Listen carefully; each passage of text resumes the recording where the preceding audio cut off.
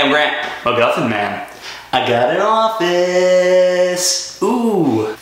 Captain America, Civil War. It's so good. It's so good. It's so good. Captain America Civil War brings back the Russo brothers who directed Captain America The Winter Soldier. The first time I saw The Winter Soldier, when the movie started, I was like, what the fuck? This is really good. And it gave the Russo brothers a jump start on their Marvel career. From that movie, they were assigned to do Captain America Civil War, and they're gonna do the next two Avengers movies, which is pretty fucking awesome because they do a great, great job. They're so good. When I heard they were gonna do a Captain America Civil War movie, I was a little skeptical because the comic books, which I'm a pretty big fan of, took a story and stretched it over a year long with tons and tons and tons of characters. I knew they'd have to consolidate the material and bring it down into a two and a half hour movie, but I didn't know that they would do such a good fucking job with it. The story is, over the last few years, the Avengers, with saving the world and such, they have a ton of collateral damage and a lot of innocent people have been killed in all these events. So the government creates the Sokovia Accords, otherwise known as the Superhero Registration Act,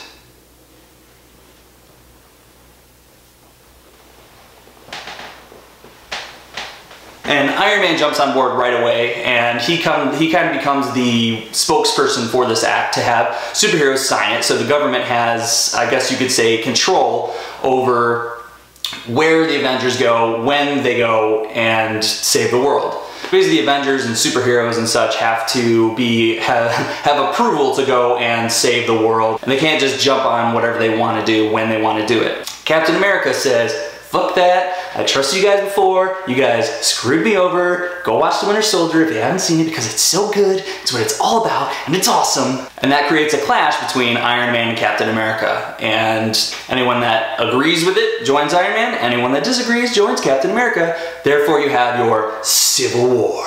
Now the Russo brothers, they took a comic book series which spanned over hundreds of comics and they condensed it down into an amazing, amazing script. And in my opinion, it's flawless. It's one of the best, if not the best comic book movie I've ever seen. And when I say that, I do include The Dark Knight.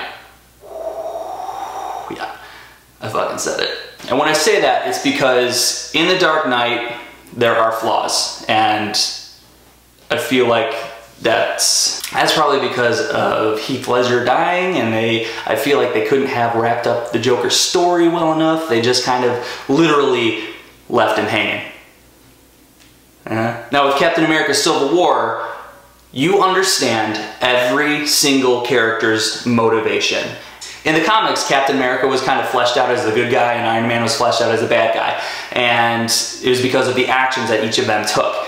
In this movie, it's kind of hard because things that happen makes you completely agree with both of them. And I love that because the whole time they're fighting, you're just like, please stop fighting. Please stop fighting. You both have good causes. And the ongoing ideologies between both of them is psychologically stressful. and before the conflict builds up to them actually fighting, they have conversations. There are there's a lot of story and plot, and it's fan fucking tastic. God, I love this movie. With this conflict, we you have there's a ton of characters, so I don't want to get into it too much. I'll try to do a quick rundown of them. Captain America. Like I said, Cap has trusted the government before and they kind of screwed him over, so he always goes with how he feels in his heart and some things happen to him that really makes him stick to his values and that's why I love Captain America because he always sticks to his values and goes for what he believes is right. Iron Man. Ever since the first Avengers movie, Iron Man's kind of been dealing with guilt for things that went down and things that happened. I'm not going to spoil anything, but um, something happens at the beginning of this movie that really makes Iron Man consider what the government's proposing, and he, that's what gets him on board with it. And he also sticks to his guns. And we get to see a lot more action than we've gotten to see in the last, the last couple times we've seen Iron Man, which is fantastic and we to see cool gadgets and Tony Stark using his brilliant mind with his tech and with manipulating certain people if he needs to. We've got Black Widow and the Falcon. Uh, Scarlett Johansson doing a fantastic job as Black Widow, as always. Sure, they got the shine in the beginning of this movie, kick a lot of ass, and then just kind of folded into the crazy mess of the rest of the movie with with the Civil War and everybody fighting, and she does her part very well. The Falcon, Captain America's trusty sidekick. I, yeah, sidekick. He's a sidekick. I mean, come on. He's got cool tech, a lot of good lines, written very well. He's kind of Captain America's conscience. He's always there telling Captain America, eh, I don't know about this Cap, but he's always been completely loyal to Captain America. He's great in this movie. Hawkeye shows up again. He kind of shows up as the voice of reason. He's got a lot of good jokes in this movie, and it's always good to see Hawkeye with his jokes because he's supposed to be funny. He has a lot of cool little moments in this movie. He's not in the movie as much as I would like, but it's hard to include a ton of everyone when you've got so many characters going at it. Scarlet Witch and the Vision. Scarlet Witch and the Vision are characters that were introduced in the last Avengers movie, Age of Ultron, and they have grown into their powers and they have a lot of good scenes together. Is it a budding romance? Is it a budding rivalry? I don't know. Maybe. Whatever it is, I can't wait to see what happens further down the road with both the characters because they were also written very well.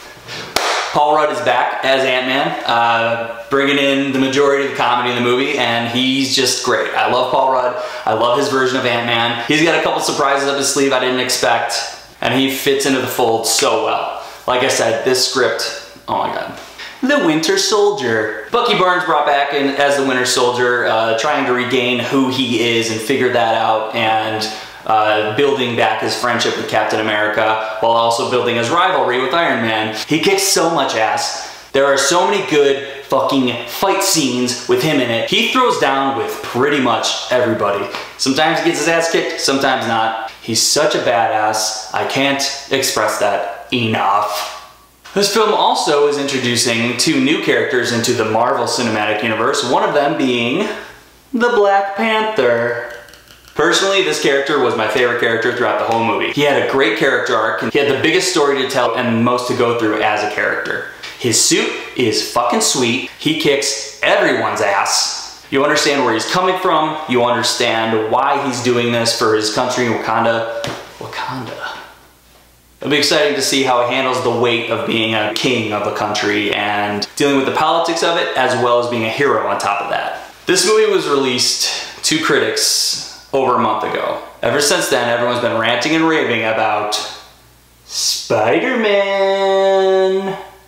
Holy shit, was Spider-Man good in this movie? Oh my god! This is the best representation of Spider-Man we've ever seen. Sony has had the property rights to Spider-Man for the last fucking like 15 years and they finally realize that they just don't know how to do it. They can't get it right. So they let Marvel borrow him for this movie, and I think they're going to continue letting him borrow him for the foreseeable future. I mean, Marvel now is creating a Spider-Man movie called Homecoming. Yeah. But I'm excited for that. The scene Spider-Man's introduced in this movie is so fucking perfect. I smiled till my goddamn face hurt. It's so good to see someone playing Spider-Man that actually is a teenager and not 30 something years old like Andrew Garfield playing someone that's in high school. What the fuck? It's great to see this character represented as a teenager trying to deal with teenager problems, as well as being a superhero and dealing with the weight of that. He's not in the movie as long as I would like, but every scene he's in, he steals the show. He steals that thunder right out of the sky. Wolverine!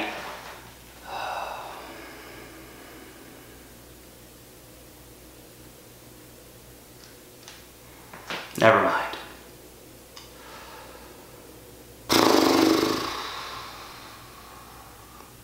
That'd be great though. Please go see Captain America Civil War. It's so fucking good. It's probably the best superhero movie ever made. I'm gonna go see it another 11 or 12 times to make up my mind. It's good to see comic book fans that are given a script to create. It's good to see it work.